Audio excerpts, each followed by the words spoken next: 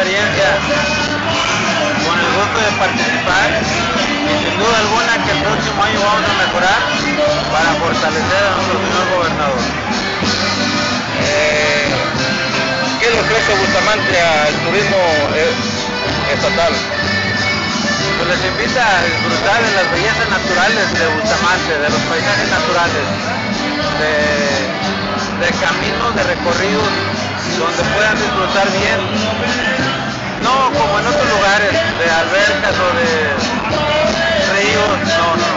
Allá son puros paisajes naturales, visiones de perspectivas eh, al natural. Y bueno, desde luego, lo que son las, las artesanías que se elaboran allá en Bustamante, fibra de, de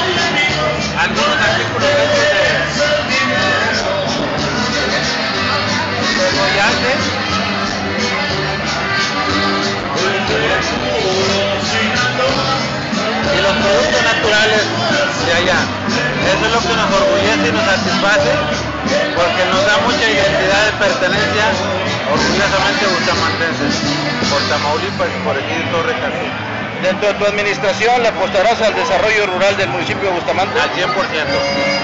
¿Entre qué proyectos tienes este, planeados para el próximo año 2014?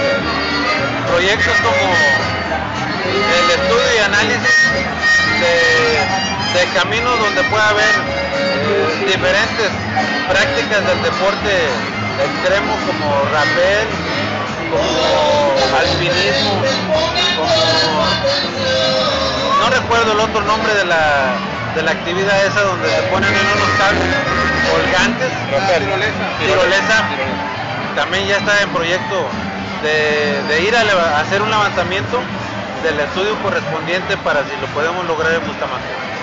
Mensaje a los bustamanteses. Que todos unidos por un mejor Bustamante y nos va a ir bien. De la mano de, de Egidio Torre Cantor. Muchísimas gracias.